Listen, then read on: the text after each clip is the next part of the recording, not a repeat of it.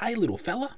Australia at night rock wallaby black proof coin. This is a silver coin and it's got that awesome black proof finish with the silver really shining through here on the wallabies right here.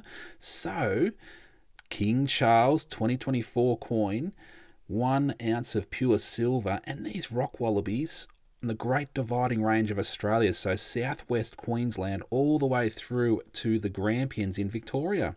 And I like to visit the Grampians, so I might see some of these wallabies one day. Um, even in their most active hours of the night, rock wallabies do not venture far from their home. So there you go. This coin is super cool, and apparently they're very popular. Only 1,000 were minted. This is number 551, this particular coin right here. So you might need to be quick if you want to pick up one of these awesome coins. So through my link, you can get to this coin.